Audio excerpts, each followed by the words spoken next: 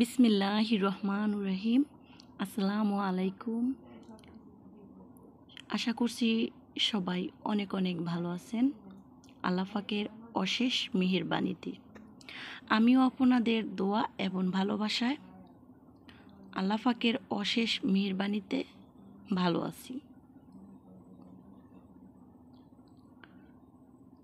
দেশ এবং বিদেশের কাছের এবং দূরের যে যেখান থেকে বসে আমার ভিডিওটি দেখবেন, সবাই দোয়া করবেন।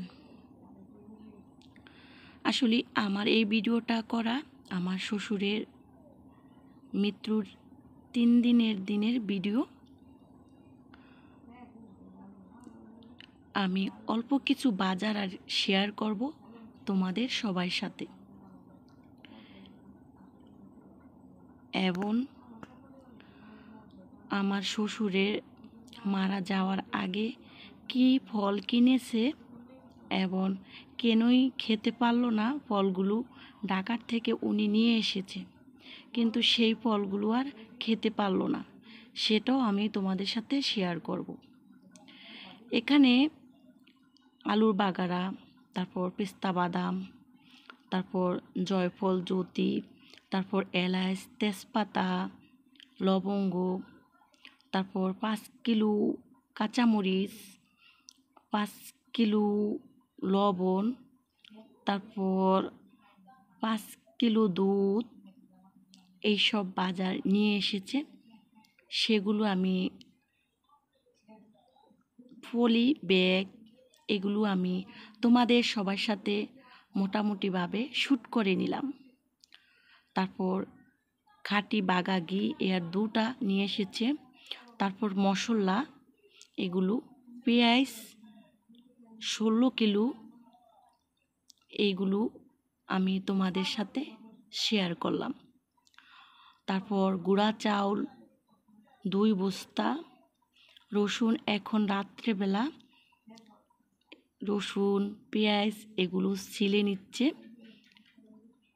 ভিডিওটা দেখি বুঝতে পারবেন যে কি কি কাজ করা হচ্ছে।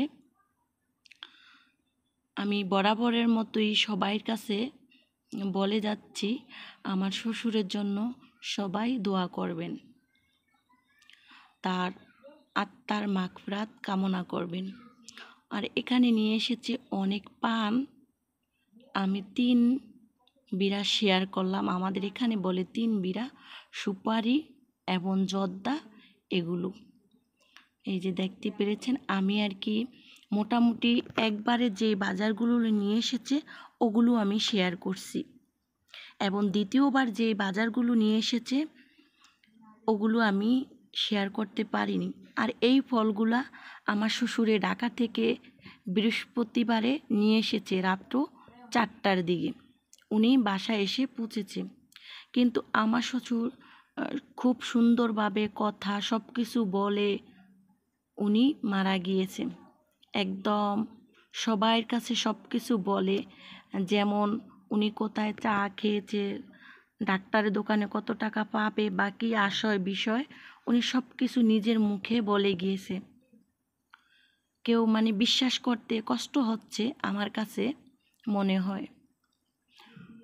এর পরের দিন সকালবেলা আমার শাশুড়ির মুরগিগুলা ছেড়ে দিয়েছে। এই যে দেখতে পাচ্ছেন আর এখানে আমরা যতক্ষণ বৃষ্টি না আসে, এই পাহাড়ে আমরা রান্না করি। যখন বৃষ্টি হয়, আমাদের পাকের ঘরে আবার তখন আমরা রান্না করি, যেহেতু গ্রামের কালচার আর মুরগিগুলো।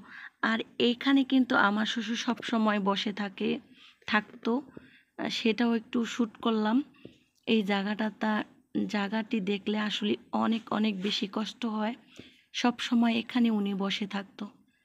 এর পরের দিন সকালবেলা আমরা শ্বশুরের কবরের পাশে সবাই, বাসার সবাই গিয়ে দোয়া, কালাম আমরা পড়ছি, সেগুলো একটু শ্যুট করে নিলাম।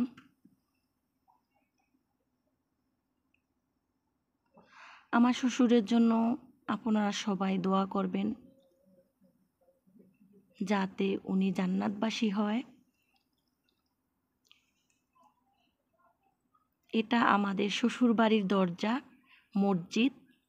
আর এই কবরস্থানটা আমাদের শ্বশুরেরই। এখন বাড়িতে চলে এসেছি। বাড়িটা একদম ফাঁকা ফাঁকা, অনেক বেশি ফাঁকা লাগছে। সব কিছু যেন কেমন জানি একটা এলোমেলো। হয়ে গিয়েছে।